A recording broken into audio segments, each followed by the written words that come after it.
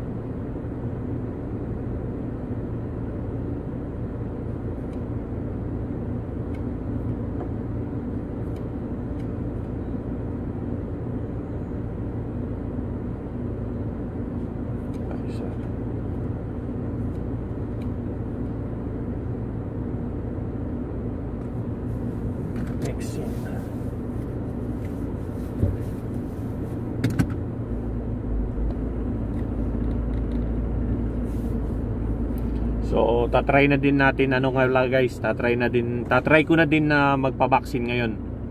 So, although first time ayaw ko sana, kaya lang ano, uh, requirement sa trabaho namin. So, I think mandatory na talaga. So, ngayon, uh, kung may vaccine lang sana ako guys, hindi ako magpapa-swab test ngayon. Kasi kailangan ano,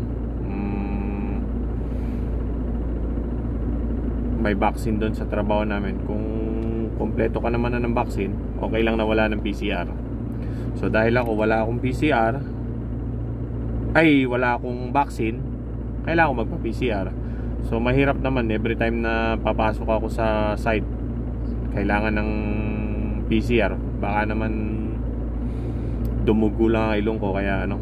So I think this is the right time na ano magpa-vaccine na.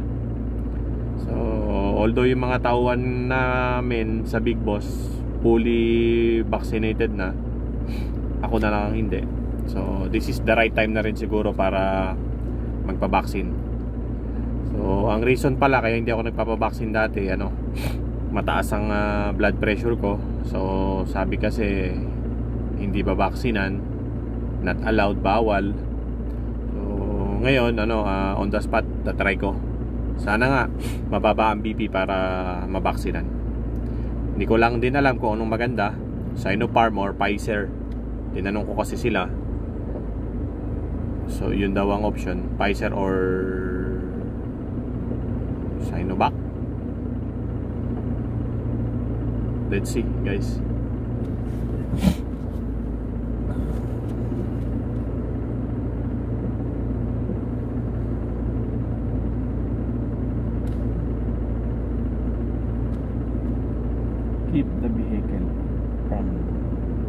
keep a safe distance. From the vehicle in front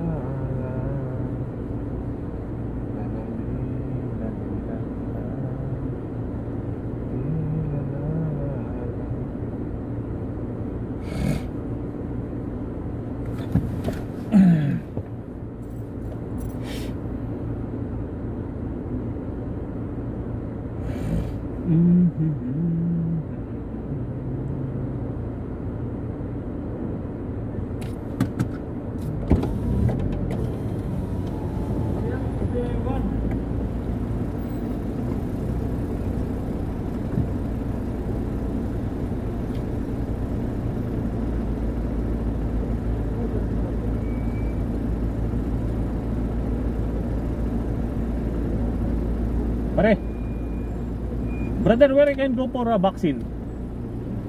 First dose or third dose you want? Huh? First dose or third No, first time, first time. First time you have to book an appointment. Book an appointment? Yes. How to book? Yes, same as PCR. Now, kailan to? You can do without appointment. Large amount for the vaccine. But uh, the, the, the, the lady Arabi, no? She said I can do. Yeah, you can do, but you have to book an. Nah, I told the, I told to madam that uh, I don't have appointment because my first time. He said, where is that? Hello. Hello, madam.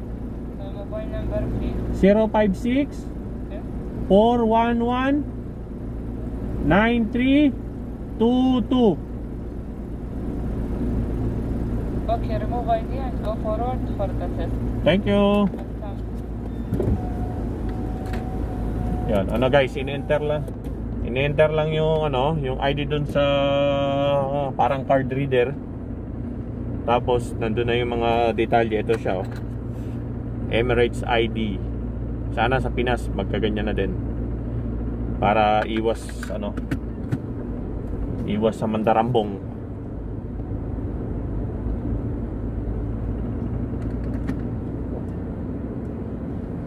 Uh, tusok na naman sa ilong si the boy.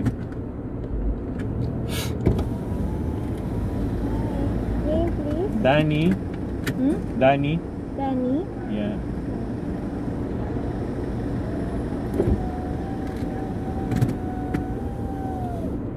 Kamali pa siya.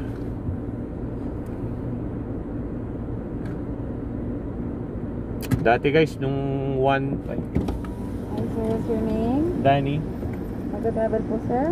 Hindi po, sa trabaho lang. Sit lang po ng pagsa. Eh, relax lang po. Napagagalaw. Ayun na po. Ah! Whew. Ah, sakit. Grabe. Ah. Ah, shit. Grabe.